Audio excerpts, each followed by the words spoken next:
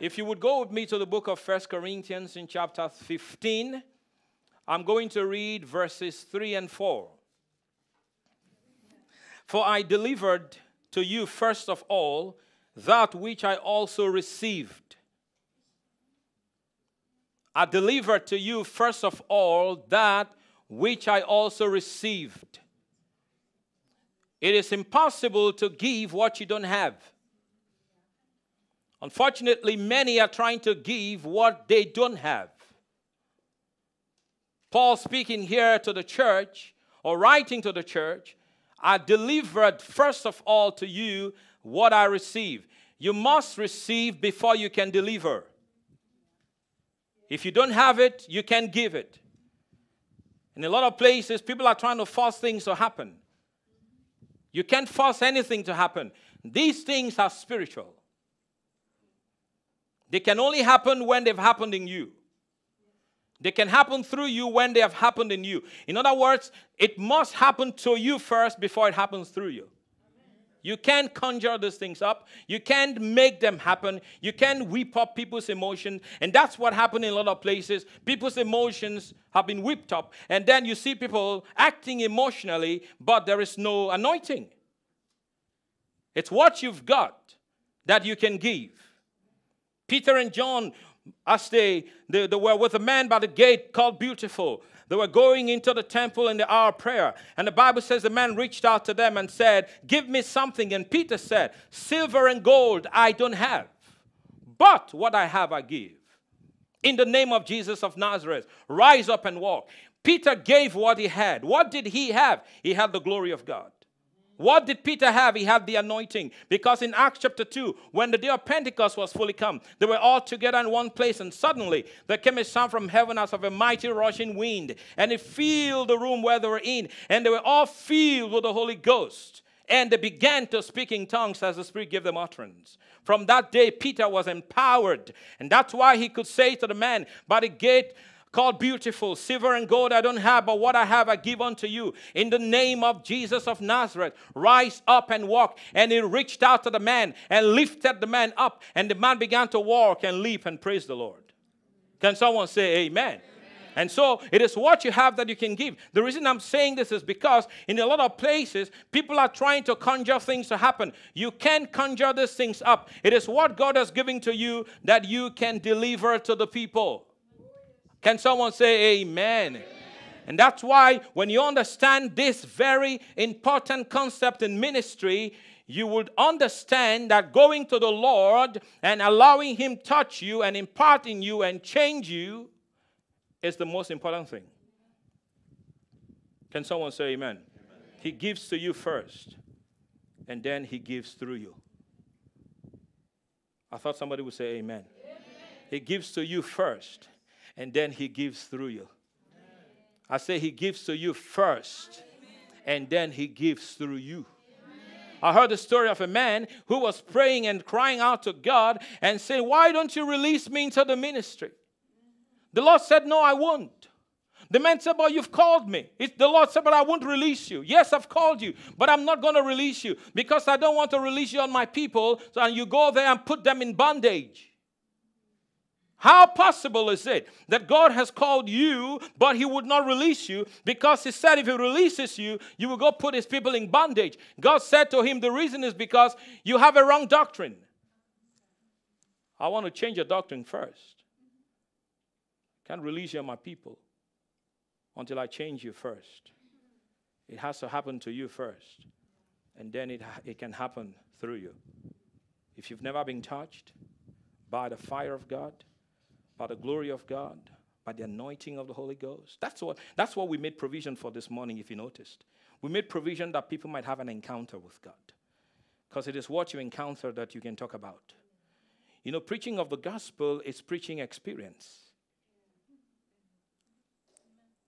Amen. Amen. Therefore, you don't go get people's messages.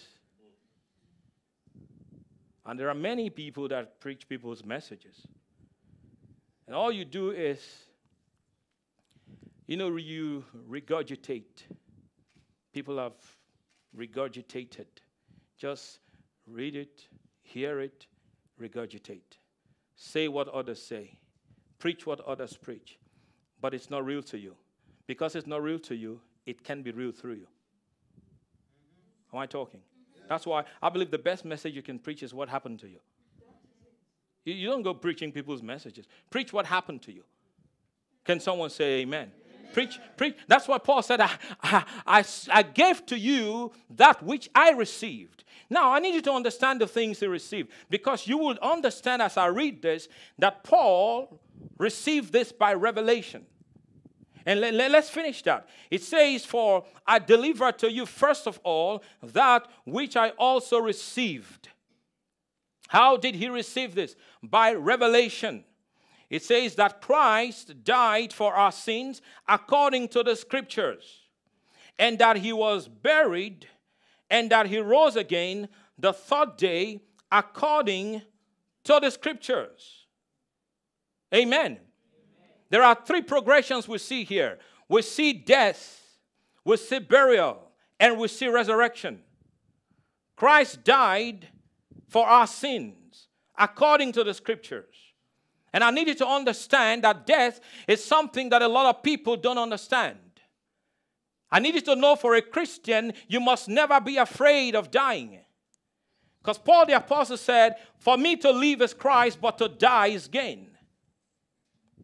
The Bible says, Precious in the sight of the Lord is the death of a saint. Are you listening to me? We must not be afraid of dying because death is not the end of your existence. Death is the introduction to another level. Oh, Jesus, I'll preach this somewhere else. People will be shouting, say, preach some more. Death is not the stop of your existence for a Christian. It is those who do not know Christ that should be scared of dying. Because my Bible says it's appointed unto men once to die, and after that, judgment. But for you, a Christian whose sin are being judged by Jesus Christ on the cross of Calvary, you don't need to be afraid of dying because the moment you close your eyes in death here on this side of glory, here on this side of eternity, you open your eyes on the other side of eternity where you will stay with God forever and ever and ever. One million years in the presence of God will be the beginning are you listening to me?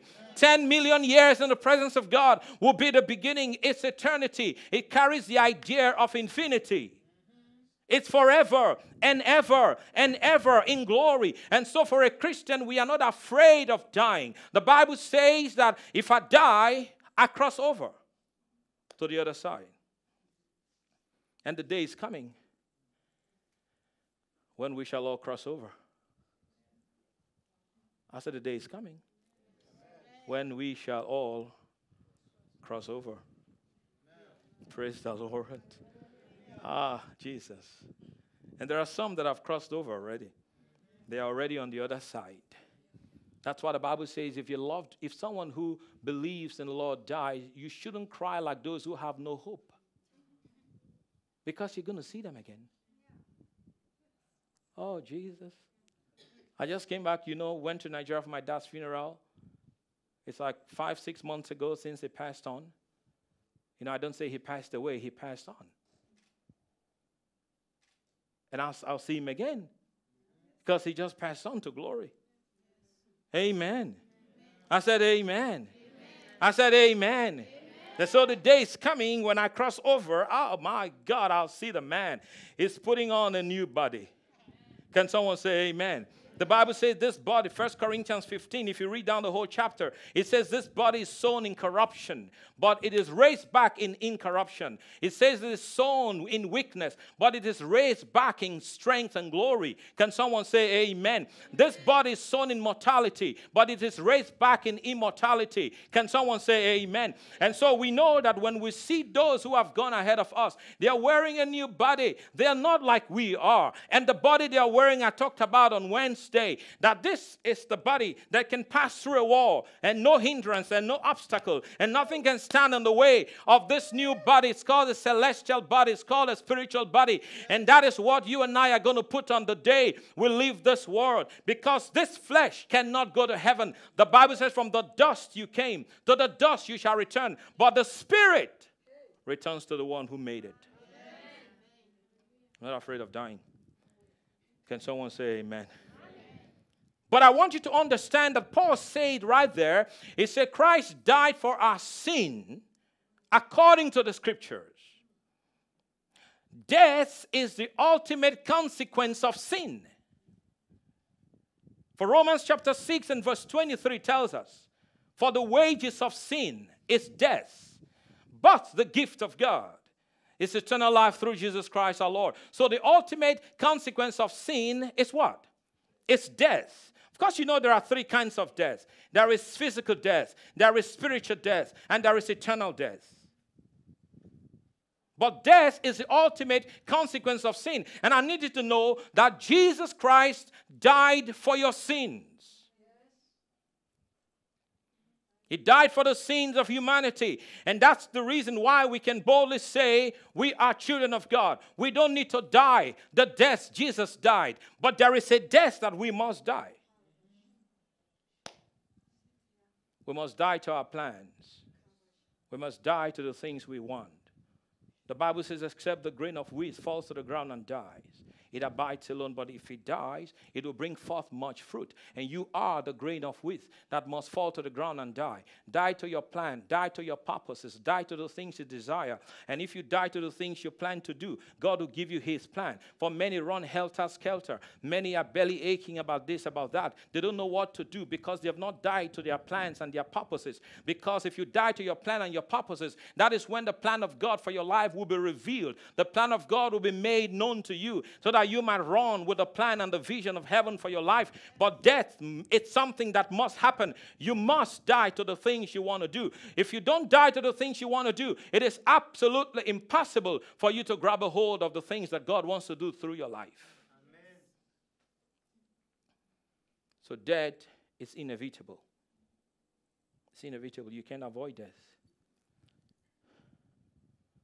But we don't, we don't need to die for sin. Because Christ did that. I thought somebody would say amen. amen. Christ died for your sins. Amen. Praise the Lord.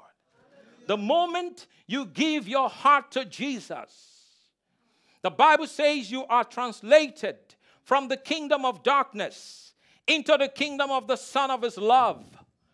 The moment you give your heart to Jesus, you do not just have abundant life, but the moment that happens, eternal life comes into your spirit.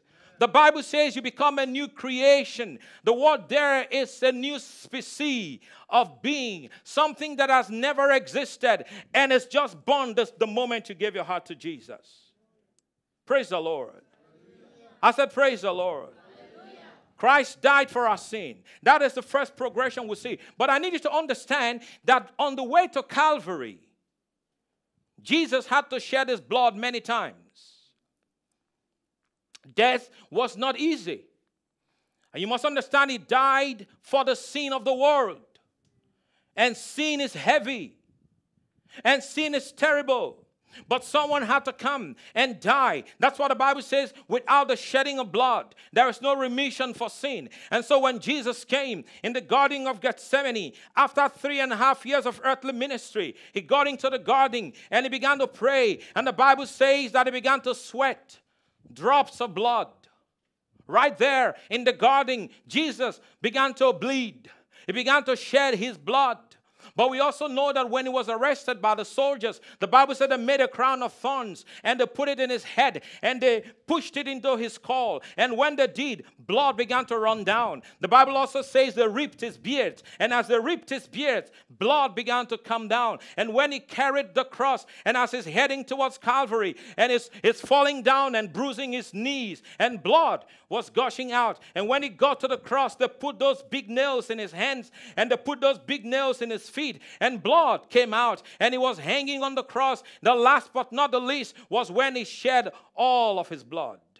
The Bible says the soldier pierced his side, and blood and water came out to tell you that all his blood was shed. That's why when you come to the communion table, you will see the way Jesus introduced it to the disciples. He said to them, Take and eat. This is my body that is broken for you. But then when he came to the cup, he says, Take and drink ye all of it. I never knew that. until it dawned on me. He said, Drink all of it. And so I have always passed that until it dawned on me that the reason he said, Drink all of it was because he was going to shed all his blood. Nothing is in the Bible for nothing. No punctuation mark is in the Bible for nothing. No word, no sentence, no paragraph. It's in the Bible for nothing. When he said, Take and drink ye all of it, he's implying that all of my blood will be shed. And that is what he did. All the blood in Jesus' body was removed when they pierced his side. Because prior to that, he's been shedding his blood. He's been shedding his blood. He's been shedding his blood. Why did he do that? He did that for the sin of humanity. Can someone say, Praise the Lord? Amen. Hallelujah. I said, Hallelujah. hallelujah. I said, Hallelujah. hallelujah. I said, Hallelujah. And you might be here this morning or this afternoon and you might say, My dream is dead. My vision is dead. A portion of my body is dead. There are some that have lost the use of a part of their body. And you might say, a portion of a part of my body is dead, but I'm here to bring good news. I say, I'm here to bring good news. Can someone say amen? amen? So something may have died in your life, but I need you to understand that when death occurs, it shakes people's world. There are those who have even left serving the Lord because someone loved and, and someone dear to them passed on. And many have asked the question, why did this happen? If the Lord was with me, why would my loved one pass away at a very tender age? I'm here to submit to you that God did not kill them. God did not take them away. It was the enemy. And to be honest with you, there are many things that we don't fully understand. Can someone say amen? But I can promise you that God is for you. The Bible says, if God be for me, who can be against me? God is not against you, God is for you. God is fighting for you. God is defending you. God is taking care of you. God is making sure that the enemy does not get you. But there are times that people walk away from under that protection. And then they open the door to the enemy, and the enemy wreaks havoc in their lives. For just like Evangelist John said, the thief cometh not but for to steal and to kill and to destroy. In other words, the enemy has no power over you except the one you give him.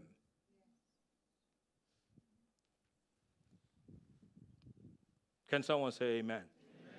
Can someone say amen? amen? But when death occurs, it shakes people's world. But after death, we see it says right there, and he was buried. Everyone say buried. He was buried. My God, I believe with all of my heart that the disciples walked away from the tomb totally discouraged when they took the body of Jesus down from the cross and they took the body and put it in the tomb and rolled that big stone over the tomb. I believe the disciples were in total despair. They were so discouraged. This is the man that once promised them that he would use them and he would impact their lives and he would change the world. And they trusted in that and they believed that the day is coming when they shall sit on the throne with him and rule the nation of Israel. On one hand, Jesus was communicating something spiritual, but on the other hand, they totally misunderstood the concept that Jesus had come to bring. And so they went to the tomb hoping that something will happen. But when they got to the tomb, they put him there and they walked away from the tomb totally discouraged, knowing that this man that once promised them a life may never come back. When something die, there might be hope. But when something die and is buried, all hope is gone. The moment you dig six feet and put the thing in the ground, it's over. Are you listening to me? I don't know about you, but there are many hopeless people in the church whose dreams are dead and whose dreams have been buried. There are many hopeless people in the church who do not even know what tomorrow bring, who do not even have a future, who are so, I mean, they look at the future, looks so bleak and gloomy, and they don't even know what tomorrow holds. But I'm here to tell you that Jesus also was put in the tomb. He was buried, and the disciples walked away from that place in total despair. But I know I know that it's easier said than done when people would say, Oh, don't worry, brother, God will make a way for you. But then when you go through the same thing, you forget what you preach. Is that right? Don't worry. Oh my God, people want to come around and encourage those who have lost someone in death. I realize that you can't really encourage those who have lost someone in death until you have gone through that. You don't even know the words to tell them. My God, that's why I've gone to a place where someone died and I just sat there and said nothing. Uh, because I didn't understand what the person was going through. People say, Oh, God, I understand what you're going through. No, you have no clue. You've not lost anyone in death. You don't know what I'm going through. You don't even, you don't even understand the emotion.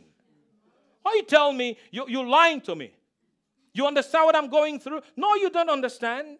You don't know what I'm even going through right now. You don't even know how I manage to sleep through the night. I'm talking to someone here this morning who, who's going through something and something is dead and you have no hope for the future. The future looks dark and bleak and gloomy, and you feel that this dark tunnel will never come to an end. When that thing is buried, you get to a place of total hopelessness.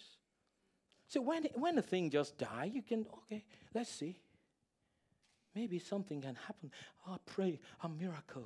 God, please do something, do something, do something. You wait for a day, you wait for two, you wait for three. Nothing is happening. And then the thing is put in the grave. They came and called Jesus. They said, Your friend, whom you love, is sick. Come to Bethany and heal him. Jesus said, I'll come, but did not go immediately. Later, Jesus said, Okay, let's go. But Jesus said, Let's go when they came and told him he's dead. How can you go when the man is dead? You should have gone when the man was just sick.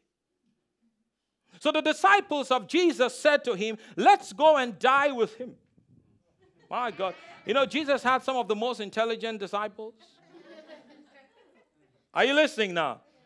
Mike, you, you don't need to be a rocket scientist to be a disciple of Jesus Christ. Am I preaching here? Yes. Hello? You don't need to be a rocket scientist. You don't need to be an engineer to be a disciple of Jesus Christ. My God, Jesus had to put up with those people. At one time, he look. At one time, he asked them this question: "How long will I put up with you?" Have you read that? How long will I put up with, the, with you? In other words, wake up. Jesus said, Let's go to Bethany because Lazarus, my friend, is sleeping. Jesus is speaking from heaven's perspective. The disciples were looking from the perspective of the natural. And that's what happens a lot of times when we preach. Because we're speaking from the throne room, from heaven's perspective, many times because people are not in that arena, they don't understand what we're talking about. Hello? And so they think we're speaking in tongues and we need to interpret the tongues we just spoke. Hello? But, anyways, we know that Jesus was talking about going to Bethany to bring Lazarus back to life. The disciples said, if he's sleeping, he will wake up. You, you, know, you know that?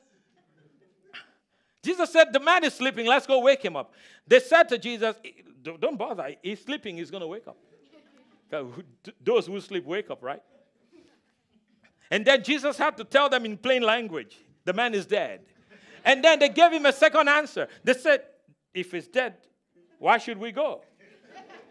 It's okay. Then they said, Okay, let's go and die with him. And, anyways, Jesus is on the way to Bethany and he gets into Bethany. And here comes Martha. She comes to Jesus and she says to Jesus, If you had come, my brother would not have died. Jesus said to Martha, I am the resurrection. I am the life. He that believes in me, though he dies, yet he shall live. My God, I'm preaching better than you're responding this, this afternoon. But he that believes in me while he's alive will never see death. Do you believe it? Martha said, Yes, in the resurrection. Jesus is not talking about resurrection that's going to happen thousands of years from when that happened. Jesus was talking about the fact that he is resurrection and life. Have you noticed that every funeral Jesus went to, he turned into a celebration? Jesus would never bury nobody. Can someone say amen? amen. I said, can someone say amen? amen?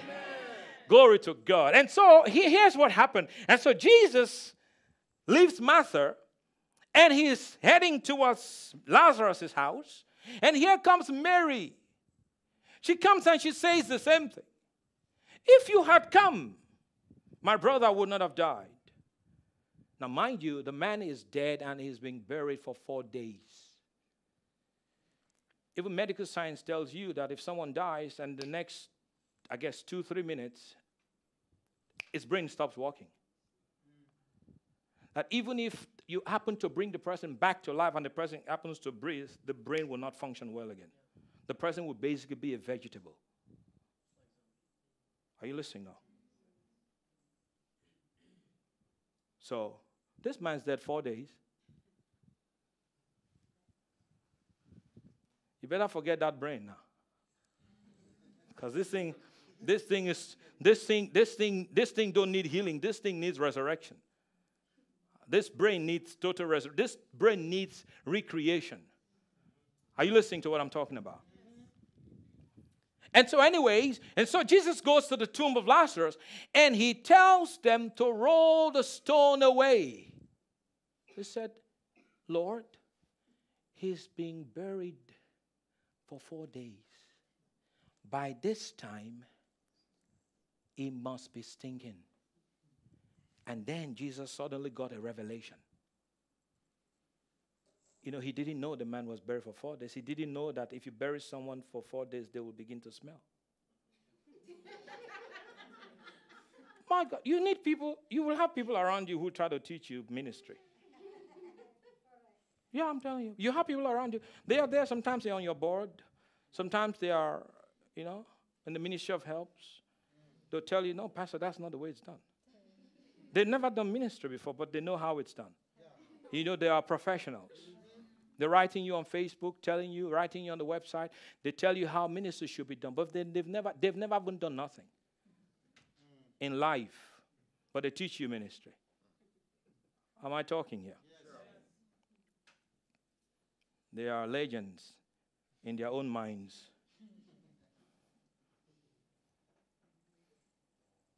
Roll the stone away. Now the man is thinking. It looks like Jesus didn't know. Just like when Jesus told them,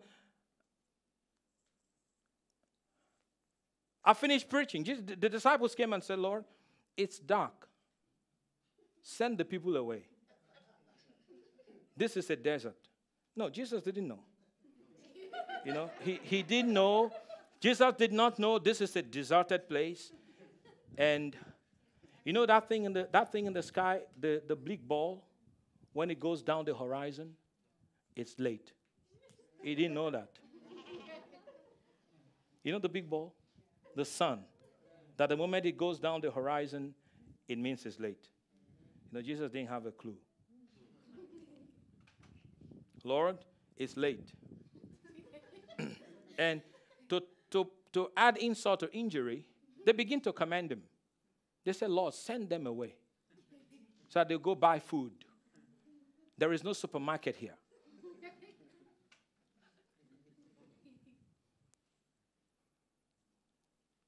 Roll the stone away. That's the command. Amen. And they did. And Jesus stood by the tomb of Lazarus and he cried out, Lazarus, come forth. And the man that's been dead and buried for four days came out. Can someone say amen? amen.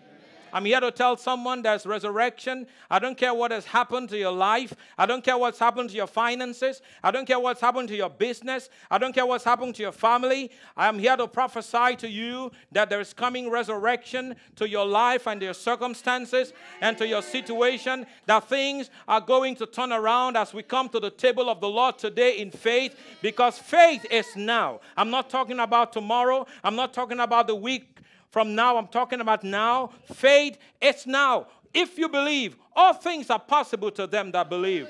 Can someone say amen?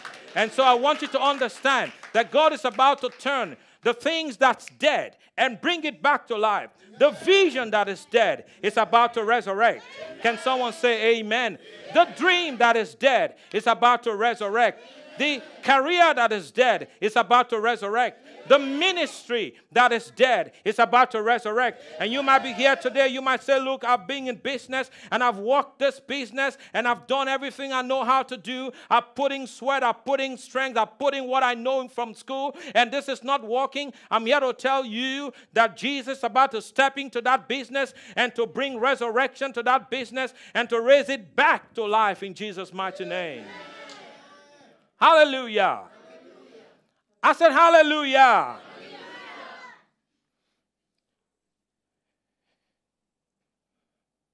When something is buried, people lose hope.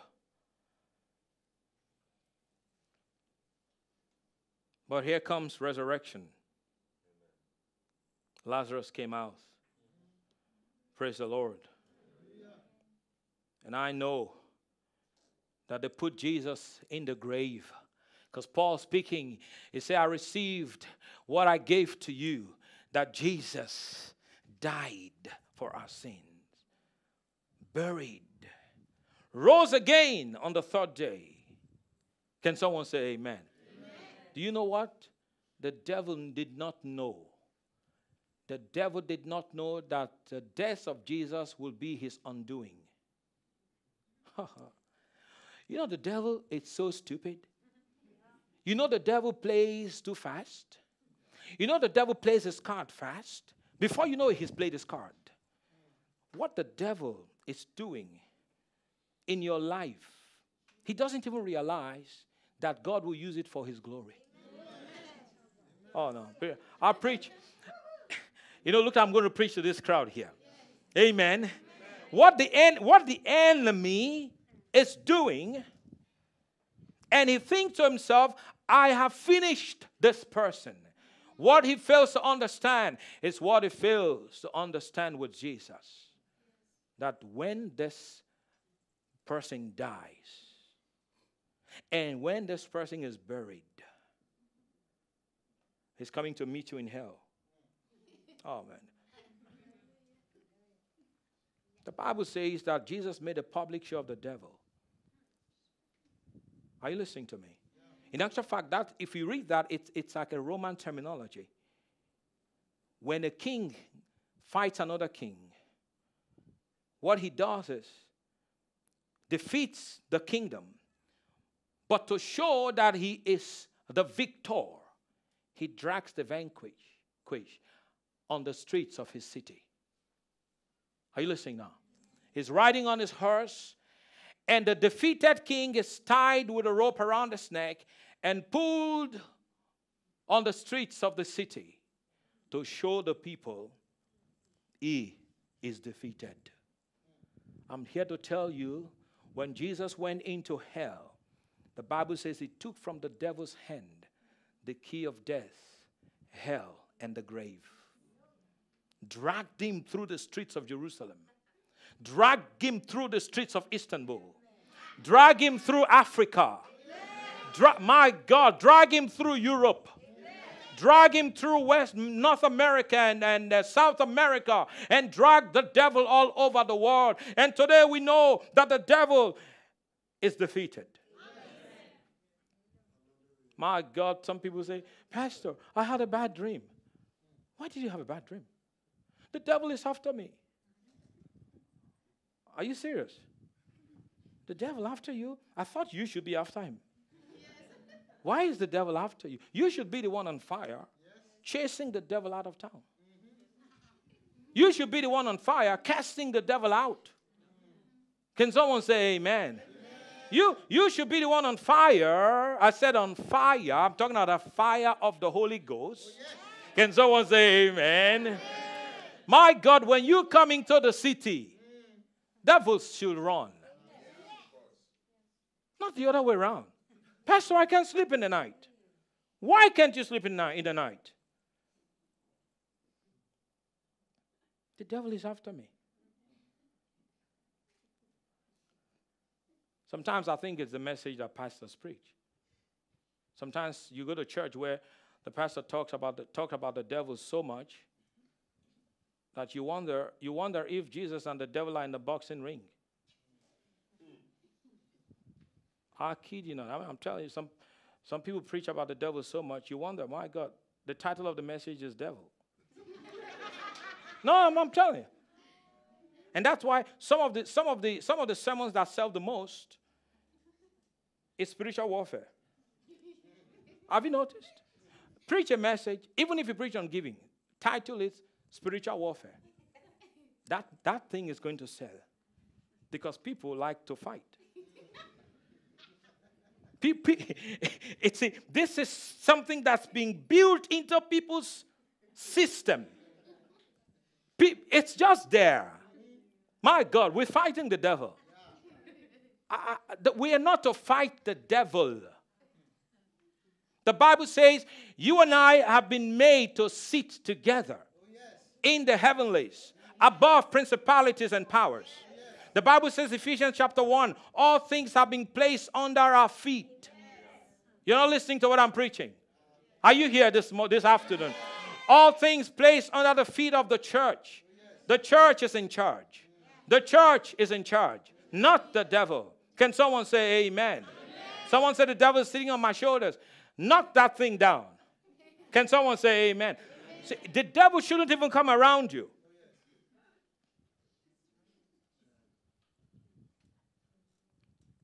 You know, when you, you go to the kitchen and you see a fly come on the stove, don't bother. About, don't do. You're wasting time You're wasting energy. Just set the stove on fire. no fly perches on a hot stove. When you are hot for Jesus, no demon can come on you. The Bible calls the devil the Lord of the flies. And he has many, many flies flying all over the place.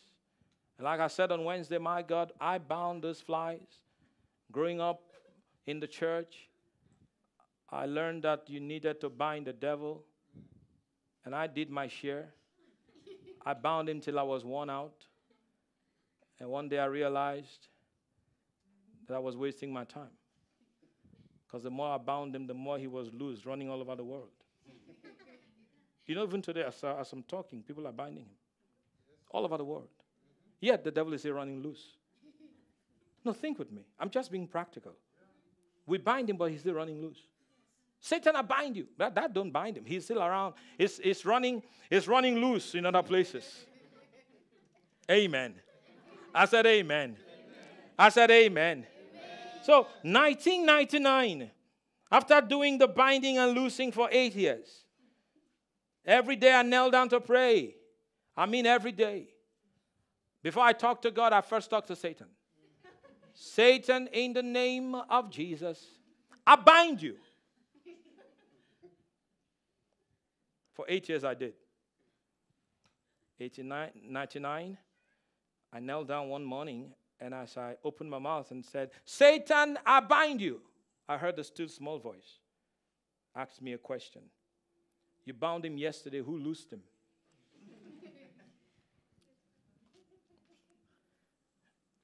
Since then, I don't bother myself about him. Are you listening to me? I said, Are you listening to me? Yeah, I see him in people, I cast him out of people. Can someone say amen? amen? I remember preaching this in a church. You know, you get invited to preach in a church, you don't want to be told what to preach. Amen. And so the pastor, oh, you're free. You have the liberty. I have liberty. Awesome. So I took the liberty. And I began to touch all these religious activities, what the Bible calls the work of the flesh, uh, the dead works of the flesh. He- Hebrews chapter 6. You know, repentance, it says repentance from the, uh, you know, dead works. A dead work is something that you do religiously that does not produce a life of heaven. But we do it. It's become a routine. We just bind. We just bind. We don't even know why we're binding. Can someone say amen? Now, some people fly on planes to bind. You know, sometimes when we say stuff like people think we're making up this story. I've actually seen people, you know, I had this delegation actually, they were not coming. They shouldn't be coming to see me. I don't know how they got my number. They called me from America. They said, We're coming to Turkey. Can you take us to strategic places? we go, go, well, let's go to some strategic places in Istanbul where the devil had stronghold, and we will go and break it down. My God. But it looks like they already had their plan. In actual fact, if they had given me the liberty to make my choice on where to take them to, I probably would have taken them to some churches. Because that's where you see stronghold, man, in people's heads. Stronghold is not here, it's here. You know this six thing, six centimeter here? This is where the stronghold is. This is where you lose. This is where you win. Praise the Lord. Anyway, you know, I took them to, they said they wanted to pray. So you're welcome to pray. And so they prayed, went to a location, they prayed, went to another location, they prayed. But after praying, they got on the plane and went back to America. You know, when you pray, and you should go out and preach too. Because my Bible does not tell me this prayer that wins souls. It is the preaching of the gospel as the power of God unto salvation. I'm not ashamed of the gospel of Christ, for it is the power of God, not prayer. Prayer, oh, oh, there's a place for prayer. I'm not taking away from that, but there's a place for it.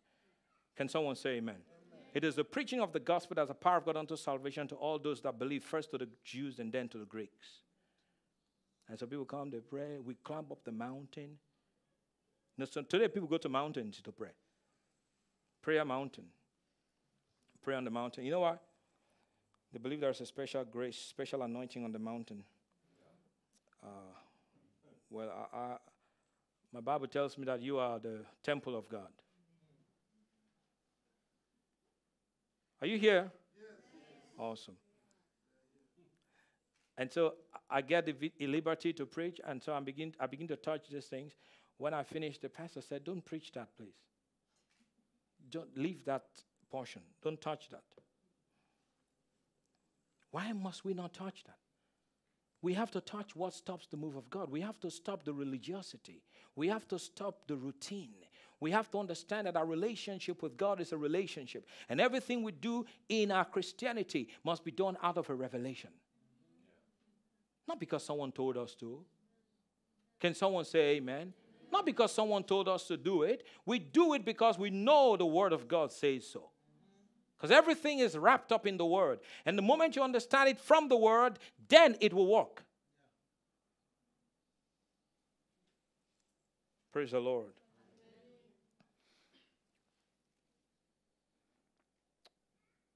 They put Jesus in the grave and they were celebrating.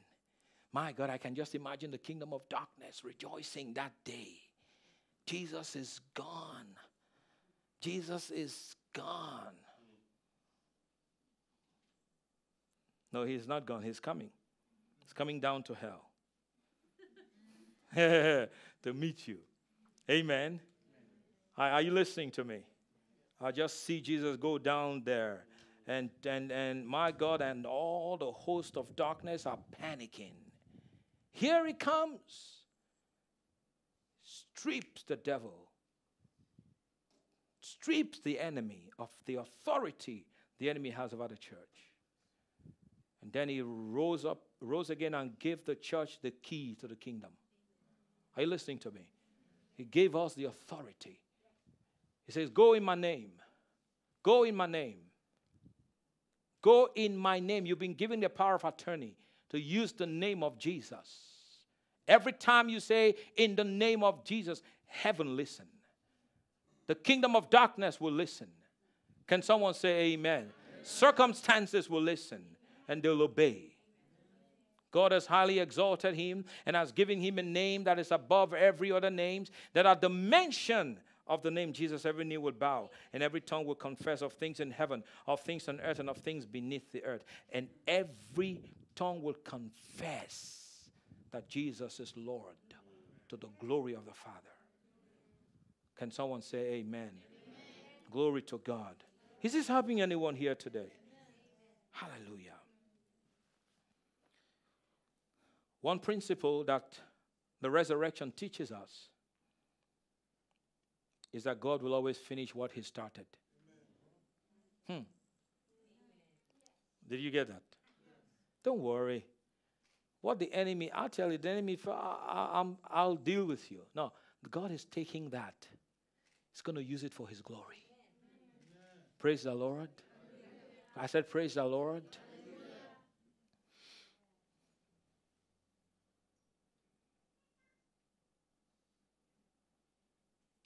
So it's going to be from death to resurrection. Hallelujah. I said, Hallelujah. Hallelujah. I said, Hallelujah. Hallelujah. I said, Hallelujah. Hallelujah. This is good news. This is good news. The good news makes you happy. This is good news to know that you can you can you can come from death to resurrection. Yeah, somebody said, but it's buried. I don't care, it's buried. We have the resurrection and the life here today. Jesus is. Jesus is. Resurrection and life. To bring back to life what is dead, to bring back what is buried. Praise the Lord. Hallelujah. Glory to God. Glory to God. With every head bowed, every eyes closed all across this place all across this place, just bow your heads and close your eyes. Before we go to the table of the Lord, I would like to give three calls. The first call I want to give, you've come into this place, you do not know Jesus. My friend, if you were to die today, are you sure you would go to heaven? I want you to know that hell was not made for you. We're here to populate heaven and depopulate hell. Your heart is pounding away, and you know that except you give your heart to Jesus, you are heading to a lost eternity. I want to invite you here today to make Jesus the Lord of your life. Or you're watching by way of the internet, you haven't made the decision to follow Jesus. In a minute, I'm going to ask you to lift up your hand. That's for those who want to give their hearts to the Lord for the very first time. The second call I want to give is for those who once upon a time you served him, you loved him, you walked with him. But you look at your life today, you know that you're no more where you used to be. You've walked away, you've drifted away. Maybe something happened that got you all discouraged and you felt the Lord was not with you. I need you to understand that God was with you all the time. But today you want to come back and you want to give your heart to Him again, you want to rededicate your life to Him, I'm also going to ask you to lift up your hand in a minute. The third call I want to give is for those whose hearts are telling them one thing and their minds are telling them the opposite. You do not know beyond the shadow of a doubt that if you were to die tonight, you will go to heaven. My friend, tomorrow is not promised to you.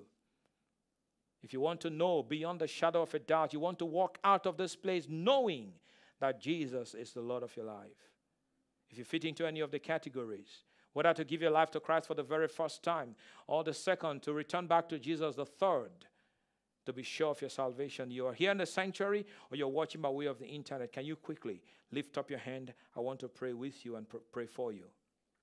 Is there anyone? Is there anyone? Is there anyone? Thank you so much. You can all look at me.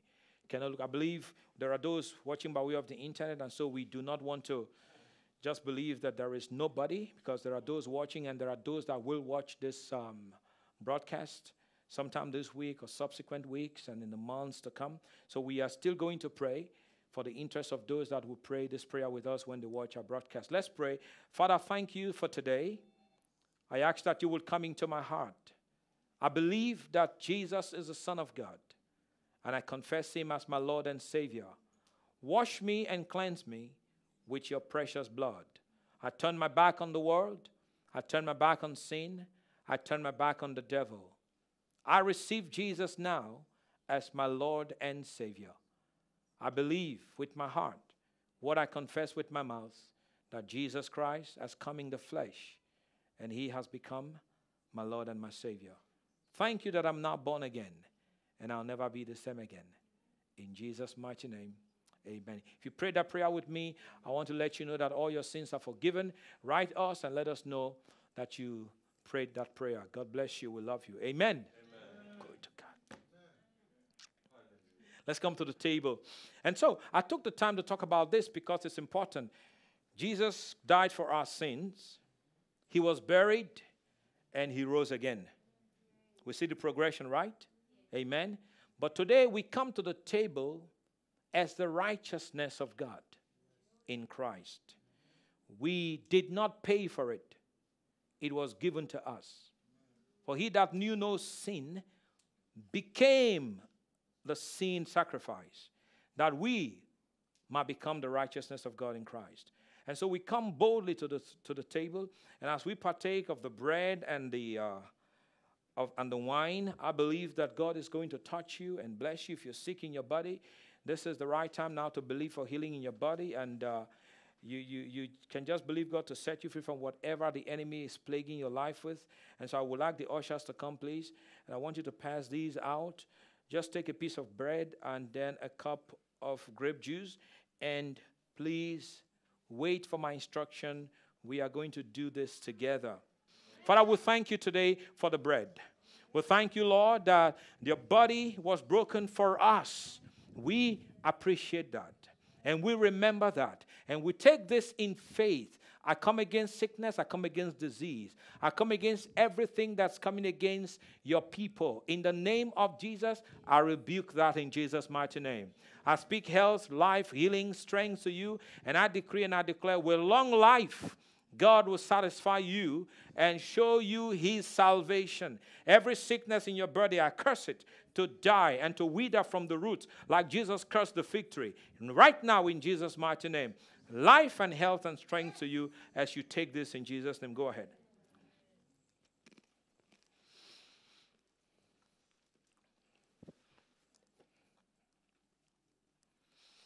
Father, we thank you for the blood.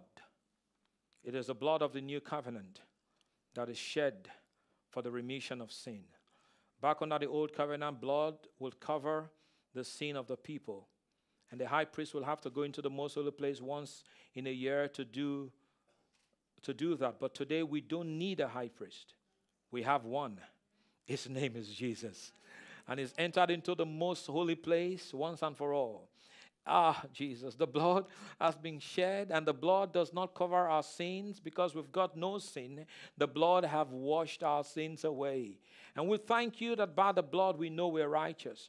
And we thank you that by the blood there is divine protection. For your word says in Exodus chapter 12, and when I see the blood, I will pass over you. So, Lord, today I declare and decree that as we partake, Lord, there is protection over your people, protection over their families, protection over their businesses, protection over their careers and their ministries, and everything with, by which they set their hands upon to do will have the divine protection of heaven.